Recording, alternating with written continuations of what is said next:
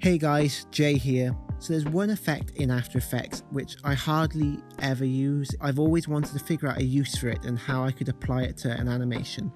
And that is CC Mr. Mercury.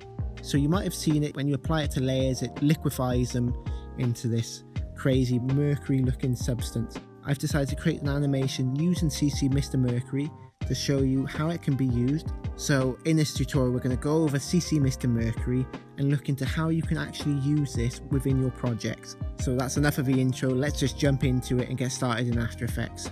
So first we're going to want to create a composition. I'm going to change the dimensions to 1920 by 1080, change the frame rate to 25 FPS, and make it a duration of 5 seconds. Make sure you label your comp um, something obvious, so I'm calling mine main comp. From here, I'm going to create a background. You can use any color you want, but I like, I'm going with blue, with a hex value of 6CB9FF. Now we've got our background, we're now going to want to create the motion that our animation will take within the video. So how we're going to do this, I'm going to create a circle so if you select the shape layer at the top and create a circle and put it into the center of the frame, the size of your shape will affect the motion of your animation. If you open up the settings, we're going to want to convert the ellipse path into a Bezier. So if you right click it and click convert to Bezier path. Now we've done that, we're going to need to create a null object. The null object is going to follow the shape of the circle we've just created. I'm now going to name the null object motion if you open up your circle layer again, copy the path and now paste it into your position of your null object. As you can see, the null object now follows the shape of the circle we've created just now. Uh, mine's off center, so I'm going to have to select the position to line up the shape of the null's path to the circle, so it's in the center. Now we've done that, we can now delete the circle. With my animation, I'm planning on having an intro and an outro section as you saw in the original video we had, the animation comes in from off screen and leaves off screen as well. So what I'm going to do is move the position keyframes further into the composition. So I'm having my animation start at one second and finish five frames after the three second mark. So now at the beginning, I'm going back to frame zero and I'm going to take the null and drag it off screen and select the pen tool and add a curve to the path. I'm now going to drag it off a little bit more to make sure it's fully off screen when it starts. If you go to 4 seconds in, I'm going to do the exact same as I've just done with the intro, but go to the right of the screen instead of the left and add a curve to the motion path to and drag it off screen. As you'll be able to see, it's very faintly, the null comes in off screen, does a loop and then leaves. What I always like to do is ease my keyframes. I'm going to now change the velocity of the animation to my liking you can edit this however you like, but I'll put on screen the exact influence, the exact velocity I've used throughout the animation if you'd like to copy me exactly, but I'd always recommend this is the sort of thing you should just play about yourself, have a tweak about to get the motion and the look that you're going for. It's always nice to figure out how changing the velocity slightly and the different eases can affect your animation as a whole. Now I'm happy with this, I'm going to create a new layer and name it body and change the color to white. This will be one of the main bodies within our yin and yang animation we're creating. So what you want to do now is add an effect to it called CC Mr. Mercury. So what you want to do now is open up the settings within your body and go into the CC Mr. Mercury settings. You'll find one of the features in it is called producer the producer is the origin of the effect. So what you want to do now is pick whip this producer to the position of your motion layer. This will move the Mr. Mercury effect along the position of your motion layer. Now we've pick whipped the producer to the position, if you hit play, you'll see that the animation does follow the position of your motion layer. But as you can see, it looks a bit like ink splattering everywhere. What we want to do is limit the size of this so for paint and the effect isn't exploding outwards, it's keeping quite contained. What we want to do is drop the velocity to zero and the gravity to zero. It's getting a bit closer now, it's more compact.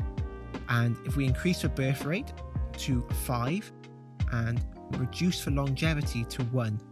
By doing this, you start to get the shape that we're looking for, um, the shape that was seen at the beginning. But what we now want to do is invert for birth size and de death size. So if we change the birth size to 1 and the death size to 0, this will start with each of the blobs starting big and becoming smaller the longer they're on screen. So now we start to get this effect. So that's the look that I'm quite happy with. What we now want to do is duplicate this layer. At the top of the screen you'll find layer within the menu bar and select solid settings. What we want to do is change this colour from white to black and let's rename the layer to eye.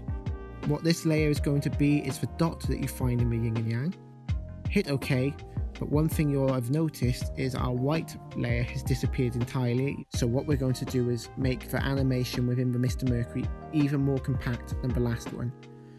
So to do that, if we go into the settings, we'll increase the birth rate to 10, reduce the birth size from 1 to 0.3. Um, we'll also want to reduce the longevity of each blob. So let's reduce that from 1 to 0.1. This will make for each blob smaller. And to make it even more compact, let's change the radius from 5 and reduce it to 1. So now we've done this, let's hit play and see what it looks like. Now we've created for one side of the yin and yang, we're going to want to create the inverted version. So now select all your layers, excluding the background, and pre-compose them. I'm going to call it white. Go up to your project window and duplicate the white composition. Let's rename this composition black. Now drag this new composition into your timeline and you'll see it's complete again it's um, just looks as if there's only one thing in there. Select the black composition, let's rotate it by 180 degrees. So now you can see that we're starting to make the circle, but obviously this black layer for colors are incorrect, they're the wrong way. So we're going to want to now invert the colors. And to do that, we need to select the effects tab at the top, go down to channel, apply the invert effect to this layer. What this will do is now flip the colors, so the white will now become a black and the black will become the white. If you hit play, you'll start to notice there's one problem is we're starting to get for one layer is overlapping the other one. So there is a way to fix this. If you double click on the black composition, you'll open up this composition. Select the body layer and what we're going to want to do is reduce the longevity of the animation. So if you click on the Mr. Mercury effect on this layer and reduce the longevity from 1 to 0.6 and what you'll see is the tail has shrunk. Now let's go back into our main composition and you can see the tail is no longer overlapping the body of the white layer. But there's one more thing to do in this now just to finish it off. So what you want to do now is duplicate the white layer in this composition. I'm going to rename it black long. You could call it black tail, you could call it anything you want. But what they're going to do is put this layer beneath the white layer and rotate it by 180 degrees, just like the original black layer we had. And now also apply an invert to this. Once you've done this, that's it. You'll see the body of a white layer overlaps with black and the body of a black overlaps with white and it just looks so much better. So that's it, we've now created our yin and yang animation using the CC Mr. Mercury effect. By using the techniques I've explained in this video, I've been able to create a load of different effects like this candle. I've also created some sort of comets, um, this reveal animation. If you like the look of those animations, I'd happily break those down into how I've created those. By following the steps in this video and just tweaking the settings and tweaking the motion paths and you'll be able to come up with animations like these. Um, so that's it for today. I hope you enjoyed it. If you have any questions, leave them in the comments below. And if you use this to make any videos, I'd love to see them. So please send them through to me. That would be great. Well, have a great day, guys, and I'll see you in the next one.